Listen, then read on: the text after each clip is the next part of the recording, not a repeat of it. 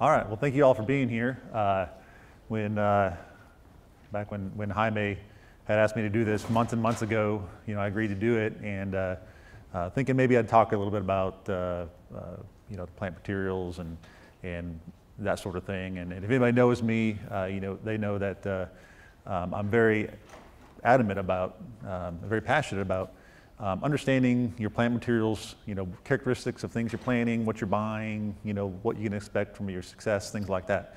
So, uh, but when I went to go put the presentation together a couple weeks ago, I decided to take a little bit different track with this one. And, and I want to talk a little bit about uh, community ecology um, aspects of, of, restoration, how it relates to restoration, and uh, hopefully make it relevant, talk about it on a, on a local scale with local projects, that sort of thing. And, uh, and also this idea of using um, early successional species and cover crops, for example, in, in the restoration process. So a little bit what I want to talk about today. Um, fortunately, being uh, yeah, started on time, so uh, we were able to, uh, I won't have to be the hero to, to rush it and get everyone out before lunch here. Um, Aaron, yeah. speak up or get closer to the mic. Okay. Is this? All right, I'll, I'll try to speak up a little bit. So, okay.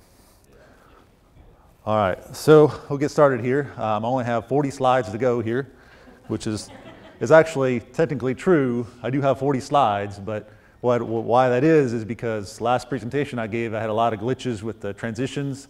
So now I just put a new slide for every transition. So 14 slides quickly turned into 40 slides, but should go really smooth. So we'll see.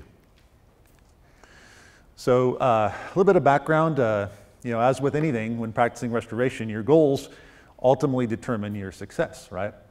So lesson, lesson here is if you want to be successful, set low goals, right? Well, maybe not. But I will say, as, as Larry talked a little bit about this morning, is uh, it's very hard to recreate remnants, right?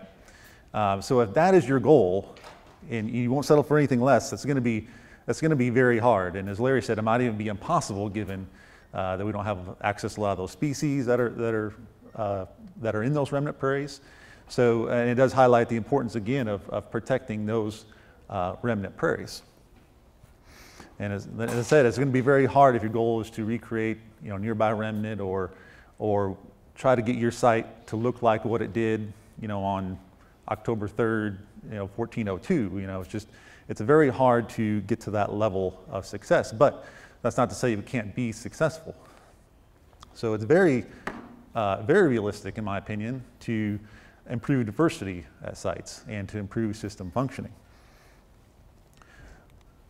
But with, with success in restoration, it's, very, it's rarely black and white uh, because what tends to happen more is, is this grading of success where you have, you know, kind of good, better, best, or, you know, what I have up there, um, which is this gradient based on you know, scientific data of, of number of species or um, just a snap judgment of what you're seeing out there. You know, what can be, uh, can be a number of things. And this is a example up here at the top I used in my header there. That's a, a unit uh, next to the Nash Prairie that um, I've kind of mulled over and it's kind of a big headache. And I always kind of wondered what to do with it because uh, it's just, it was an old crop field back in the 80s and and uh, this is kind of what's come back. You see bunch, you know, native bunch grasses here and there, annuals, um, a lot of invasive species in there too. So it's just a hodgepodge of kind of everything that's, that's uh, come back on its own since, since the mid 80s. Um, and then you have here, you know, of course, your remnant, which is the Nash Prairie itself, which is a, a recent photo. But what I do find in, in restoration is that one goal that seems to tend to cut across all ideologies um, is this goal of getting some sort of late successional plant community established, whether it's, it's, it's forbs, whether it's grasses, whether it's a combination of both. Uh, the benefits of having these sets of species in your restoration and on, on the land uh, are just numerous. Uh, from wildlife standpoint, birds, pollinators, insects, um, from an aesthetic standpoint, you know, just, just the look of the prairie is improved uh, in a lot of cases with those species. So um, there's just a lot of, lot of benefits and, uh, to having those types of plant species um, on, your, on your area.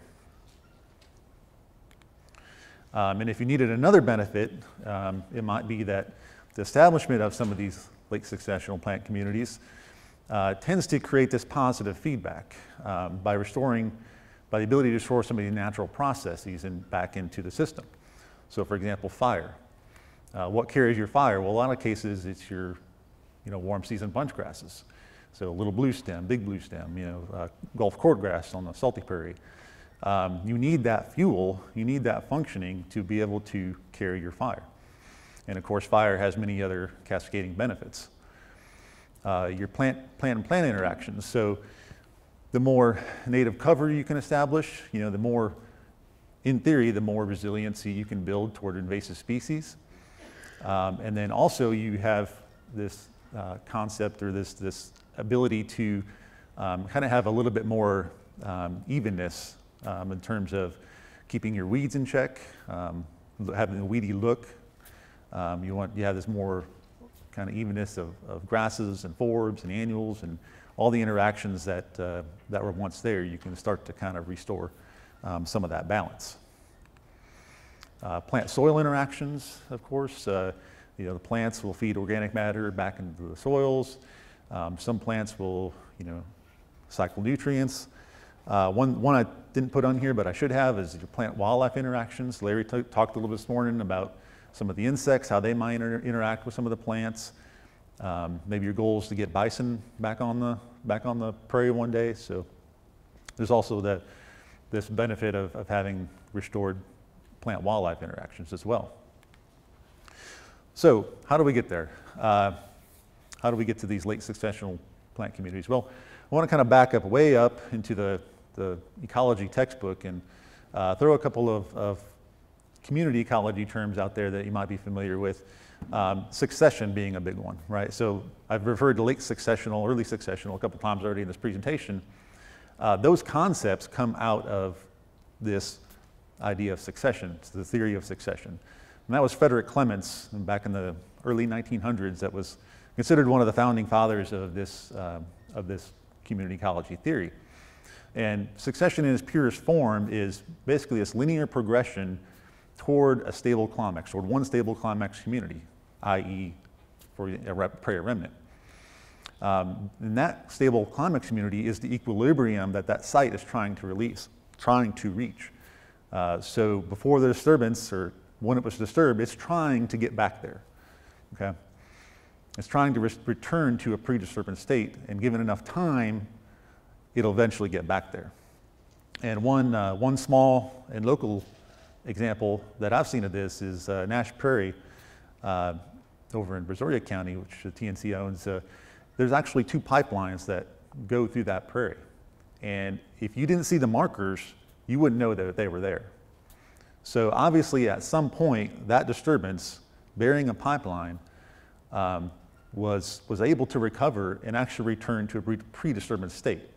And, and I can, I don't know all the history of, of the property since that pipeline was put in decades ago, but uh, I'm pretty sure it wasn't, wasn't planted and it wasn't managed to, to try to get back to the, that pre-disturbance state. It just naturally revegetated on its own, had a seed bank or whatever the case was.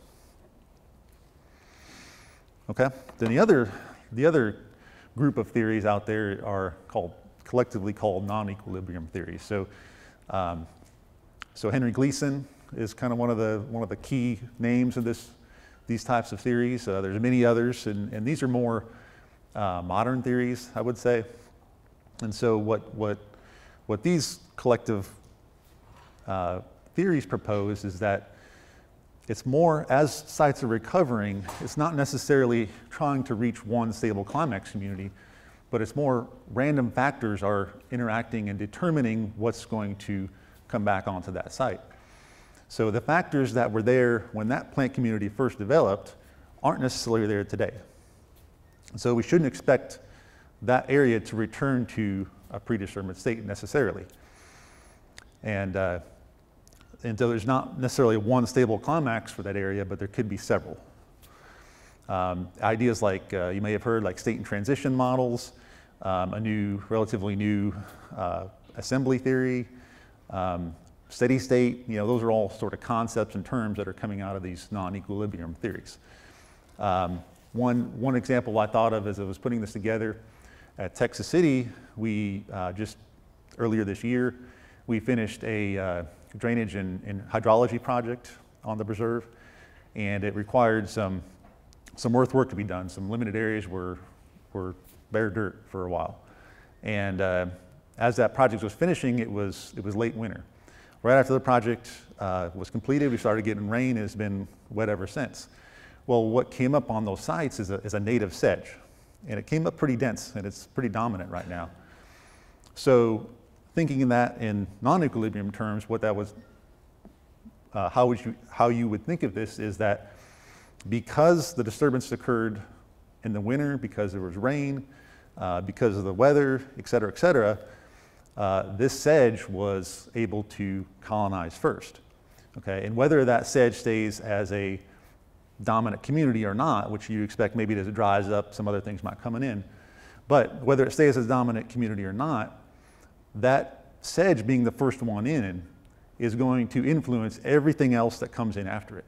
Okay, and so that plant community that results might not necessarily look like it did, you know, 300 years ago when it was first formed. Okay. So I think most practitioners, including myself, um, tend to adopt more of a hybrid model of these two concepts. So I think everyone recognizes thinking of the usefulness of thinking of succession. Um, things change. You think of early, mid-successional, late successional species, um, kind of those somewhat predictable changes, um, more or less in a linear fashion. We can kind of see that and, and helps to think about it that way. But the fact of the matter is, some communities, just for whatever reason, just don't ever tend to get there. Um, that process is broken or, or whatever the case is. They, they don't seem to be getting there. You know, maybe you waited a, a hundred years or a thousand years, you know, you never know. But um, at least in our lifetimes, there's really no expectation that it'll ever, re- ever return to what it looked like before. Okay. Some reasons you might think of uh, invasive plant species. You know, that's kind of a, a game changer here in recent decades. So once the invasive plant species get, get a hold, you know, they don't seem to ever want to give that uh, dominance up. Um, even some native weeds, uh, you know, conditions might favor um, some assemblages of, of, natives coming in and, and, dominating. And again, I don't know if it's going to stay that way or if it might eventually give way, but they seem to be a lot different than, than what they were uh, years and years ago. But in theory, there is hope. Uh, these, the community development, plant community development, can be manipulated toward a desired state. Um, so that's one way you might define restoration. But in order to, to uh, understand that process, it's important to try to find out or try to think about where that process is getting off track. Where, where are things going wrong? Okay, so what factors are, influ- are influencing site community development? So one thing I just talked about, uh, the climate and the weather. So uh, is it a wet year? Is it a dry year? You know, what happened at the time of disturbance? Um, or what kind of weather pattern are we in? You know, are we in a, in a long-term drought? Are we having fall rains, spring rains, et cetera, et cetera? Uh, El Nino, La Nina, um, all those sort of things. Um, atmospheric CO2 could be playing a role. Um, there's some, some thoughts on that.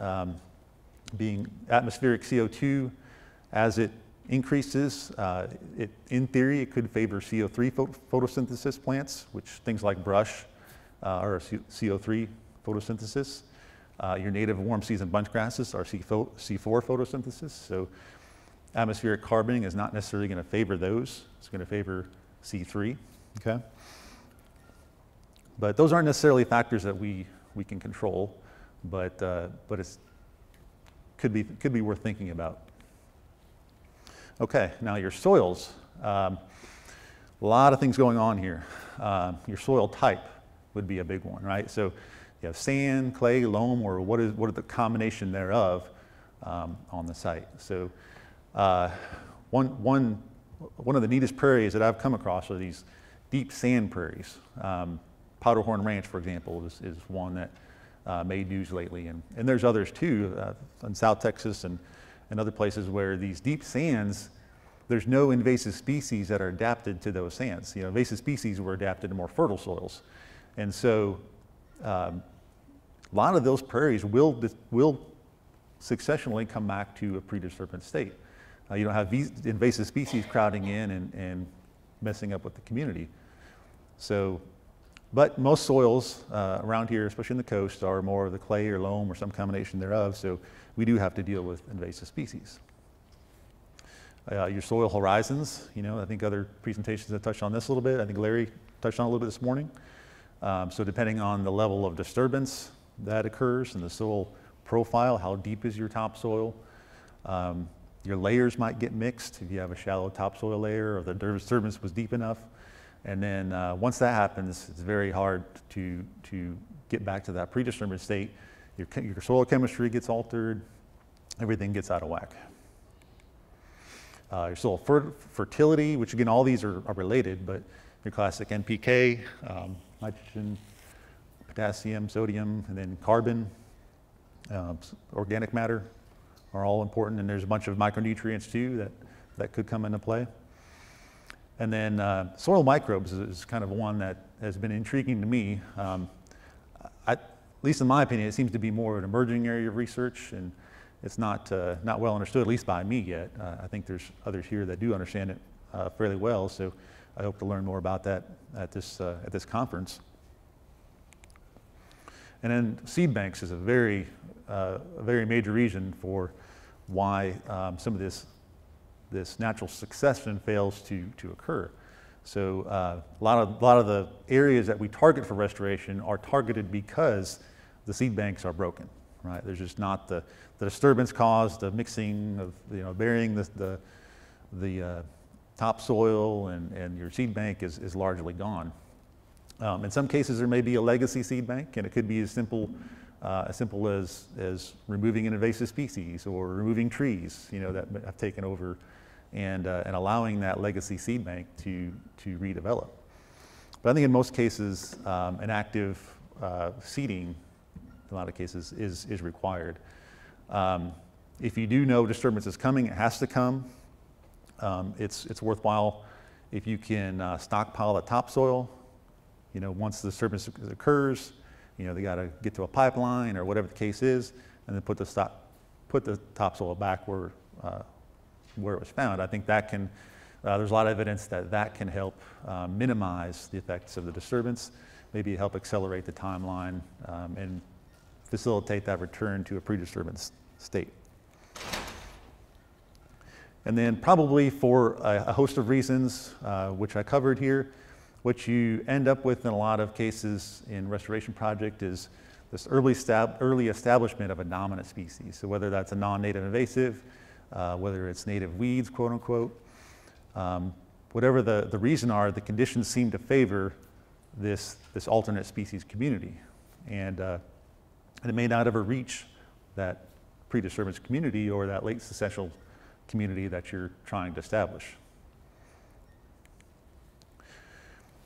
So one of the, one of the things I wanted to talk about today is this, uh, the species role in that process. So it's this idea that, it's not a new idea, I think it's been, been around for a while, and, but, I, but it's an idea that I've been hearing more about from practitioners lately, and so something I wanted to, wanted to touch on today. Um, but this idea of planting and establishment and establishing a certain plant species that in theory could help facilitate the expression of your more desirable late successional species. Okay? So and the, the theory is it does this by um, creating a resistance to invasive species, for example, reducing direct limiting competition by some of the, the, uh, the native weeds, for example, that might get too tall and compete for light. Um, it can create some responsible ground cover, add nutrients back into the soil. Um, you know, all these, all these processes, processes that could, uh, that could be occurring um, with, these, with establishment of these early successional species. Um, there's also, I was surprised not to, not to find a little bit more um, literature on it, but uh, I did find one study in, out of Western Europe that actually found that uh, uh, late successional species over there, anyway, um, actually germinated what better in existing vegetation than it did on bare soil. So there could be some, some evidence that uh, some of the late successional species might actually uh, germinate and do better in existing, some sort of existing vegetation. So if you were to choose or, or you know, if you were to choose a early successional species or uh, a cover crop or set of species, you know, what would you, what would you look for? Um, and I think it's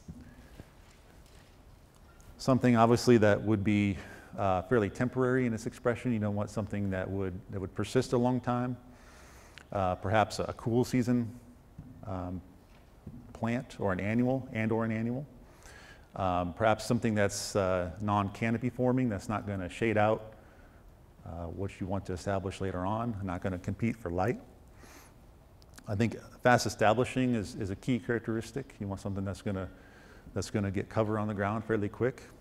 And ideally, you'd want something that's uh, native and local. Um, some less ideal species may be out there. Um, for example, weedier species may be acceptable if, if some sort of management is introduced. So processes like mowing, for example, which is a fairly common practice in, in northern tallgrass prairie restoration projects. Uh, they, they will mow a few times a year to uh, reduce light competition and let the late successional grasses uh, germinate. Um, there may or may not be some, uh, some opportunity for herbicide application um, if you can take advantage of a, of a timing difference in, in, what you're trying to establish or cover or some sort of physiological differences, uh, maybe, maybe not. Um, and then there's also a lot of, uh, not a lot, but there's also non-native options. And specifically, one of the benefits is it's commercially available.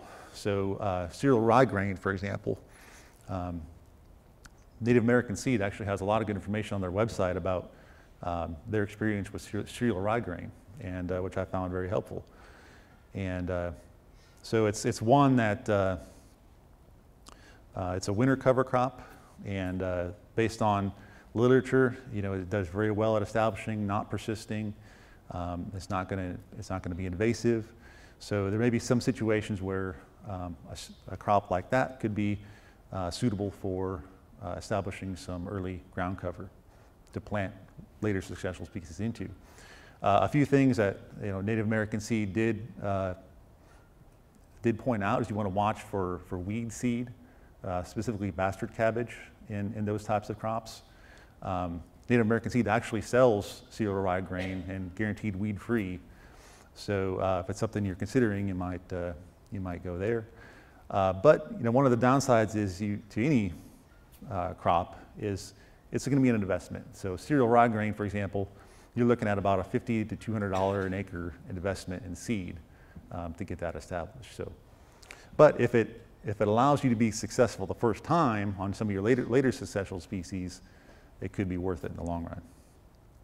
And I do want to point out that cereal rye grain should not be confused with annual ryegrass. They're two very different species. And I don't think Native American seed or, or I would recommend planting annual ryegrass. And just to show you the difference there, you may have seen, seen some of these species uh, around here, but annual ryegrass is a, is a fairly aggressive cool season weed. Um, cereal rye grain is not. Okay. So I just want to finish off with, uh, with talking a little bit about species availability and, and how might we get there.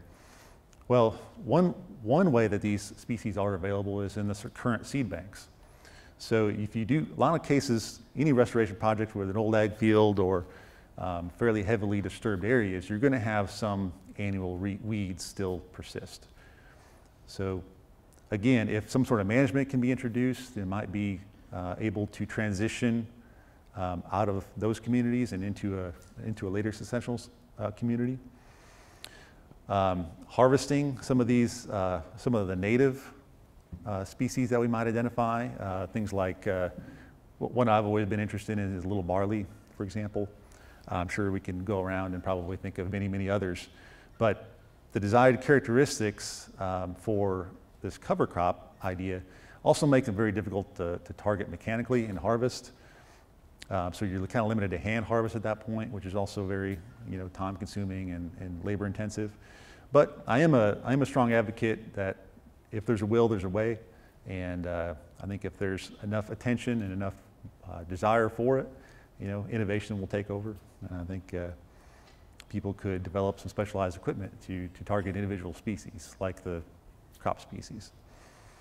Uh, from an industry standpoint, it's, it's very tough to work with growers because it is a fairly limited market um, for, for these species. You know, we're, we're, you folks here, for example, are, are uh, part of the market. And so, but it's just not a very broad market in terms of a seed grower and what they need to invest in and, and that sort of thing. So again, that might point back to uh, using some of the cover crops that are available, the rye grain. Um, another, another possibility is, is grow out efforts, uh, local seed plots. You know, if your organization has that capability or volunteers to, um, to, to invest the time it takes to, to grow some of these species and keep them maintained and keep the weeds out and that sort of thing. And, uh, and really, what, where we're, the stage I think we're at now in a lot of these projects, and from what I talked to with partners, is we're kind of in that stage where we need to show success. Okay? So a lot of these, these projects that are upcoming, uh, coming online, uh, I think as we build success, uh, show success, we can build on that um, and help to grow the market and help to get those species available. So. So with that, I will conclude and take any questions you might have.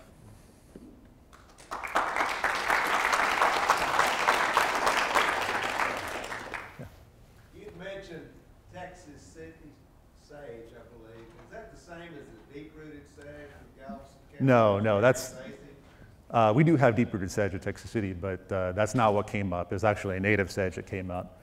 Uh, I think we have about 20, 20 to 23 species of sedge at Texas City, and, and all but one are native. So um, this was actually a native sedge that came up. Uh, in one of the talks yesterday, um, they said that we were looking for a guidebook so that people can, can work on pocket prairies with all the different factors that you see. Um, is there a, a native cover crop maybe for this area that you could use in that guidebook? Um, well, the short answer is I, I think Bill Neiman at Native American Seed has shown some success with uh, restoration projects in, in other parts of the state. Um, as far as locally here, um, it's, I haven't seen any success, successful projects yet. Uh, it's it's a, a concept that I'm hoping to uh, research a little bit at Texas City. If you're on the tour tomorrow, you'll kind of see um, our plans for uh, implementing some of these projects and hopefully showing some success and what it might take to transition some of these areas, you know, kind of along that path to those desired communities. So hopefully I can demonstrate uh, some of those uh, some of those techniques uh, successfully. So, but that's kind of in the works. So.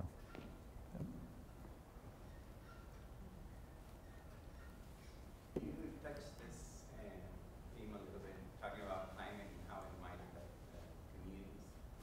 And I haven't heard yet anyone mention how climate change is gonna actually affect the nature, natural distribution. Are we gonna see actually a contraction of what the normal uh, distribution of the whole prairies are? Or are we gonna see an expansion?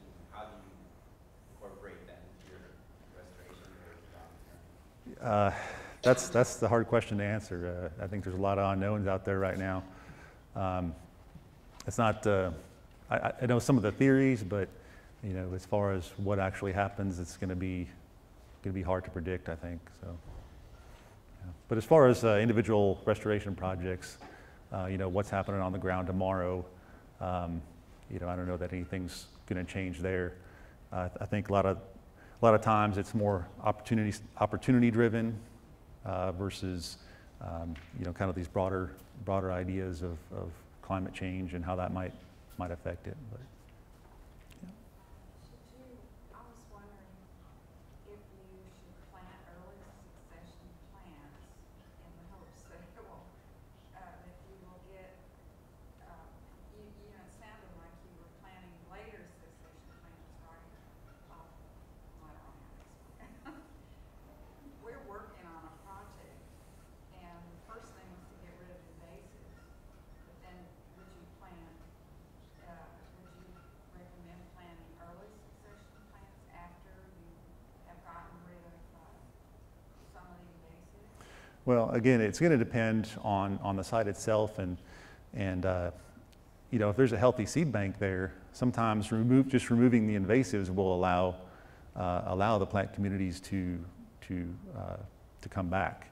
But uh, if, if the seed bank's not there, then removing the invasive is just going to, you know, pop up, uh, you know, with whatever, whatever's in the seed bank. And so I think the first step would be to just evaluate what's, what comes up after removing the invasives. And then um, as far as, you know, the, the plan for, I think it's going to depend too on how aggressive you have to be on those invasives. If you have to, to wipe everything out and start over, then that may be a situation where it, it could be beneficial to apply a, a early, you know, early successional uh, plant community into that. Did I answer, sorry, did I answer your question? or- this, I'm just Mhm. trying to find a, Yeah. a, a plan, you know, just a, a plan, should you plant early succession and then plant, later succession at the same time? Well, I think uh, uh, planting, planting them all at the same time might be a better approach initially. Um, If you can, if you have the species available to plant, um, you know, planting them all at once would be, It, it, it- it's a, uh, it was a farm, it was a cotton farm, so originally. mhm. So Okay. that probably pretty took, took out probably everything. yeah. Okay. Yeah, those are tif- difficult, difficult environments to, to plant into, to restore into. Well, sir, just to kind of tack on to what she asked, if nobody was around to see these prairies evolve, how do you know what the early successional species are? That's kind of just a guess right there, isn't it? Mhm. Yeah, I, I think so. It's going to be, I think we, we tend to, you know, see what, uh, what's, you know, considered native and then what comes up early. You know, I think those are the ones we tend to point to as far as the early, early successional. Uh, what germinates quicker, uh, what establishes quicker, that sort of thing. So, Yeah, but that's still all kind of a guess, isn't it? Because nobody, we, nobody in this room ever saw a prairie evolve, right? I Mhm. mean, so that's all kind of a guess. yeah, yeah, a little bit. I mean, it's, the fact that it's growing there now um, would, would lend support to the idea that it was native and there at one time, um, Yeah, assuming it wasn't. talking about Being native or not, I'm Yeah. talking about what came first, though. I mean, Mhm. we, because usually typically when we see it now, what we're seeing is, when we first got here, you know, as Europeans, we were seeing probably this big climax community, correct? Right. So I'm saying, has anybody ever seen what came before that? I'm thinking no, but I like your answer about throwing the whole kitchen sink at it, that's. that's- Yeah. right. We had a question back here.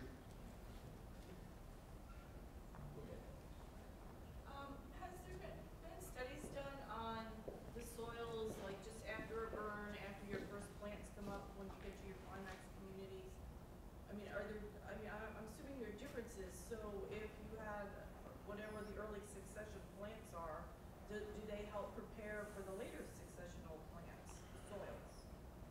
So, uh, in a, in a fire situation? Have, have there been studies on, on the changes of soils throughout the prairie's history? Um, I'm sorry, I'm not, I guess I'm not understanding the, could you repeat the question again? Okay, you have a fire, Mhm. you have your soils, you take, take a test, and then a year or two later, various plants come up. Probably your earlier successional plants, you do another soil study, and then, you know, five, ten, however many years, when you start getting your climax communities, you do more soils a- analysis, microbes, whatever. I, I, I'm not a soil scientist, so I don't know all the wild, what, what you can do. But, I mean, has any of that been done? Because maybe that can affect, w- when you're, you put in, you know, we're always putting in these climax plants, but maybe the soil's not ready for it yet. Mhm. Right. I'm sure there has been some work done. Um, see, was there some, anybody here that had some, some thoughts on that, John? I mean, Yeah. I am a soil scientist, but I, you know, I remember in my early days, colleagues who, you know, there's all kinds of literature on, s- on fire and soils, I mean, it's, and it may be sort of in the minutia of soil, it's not like clay, sand, silt, it may be micro, maybe crust and form, but there, there's plenty of stuff out there, absolutely. Mhm. But you might need a PhD to fish it all out, I don't know. Right, yeah. It's easy to get overwhelmed with, with some of the literature, I think. There's more that we don't know about soils than we know. Right. One of the, one of the mechanisms, though, in succession that, that we know and is useful for restoration is, is that the annuals sequester nitrogen. And the perennials have a competitive advantage in the absence of nitrogen, so they displace the annuals. That's, that, that's something that you can incorporate into your experimental, I mean, into your restoration design. We actually use sawdust and sugar to tie up nitrogen to Oh, yeah. shortcut, uh, uh, succession. Any other questions uh, for Aaron before we uh, break for lunch? I don't want to keep anybody away from the lunch box. So, All right, thank you. Thank you.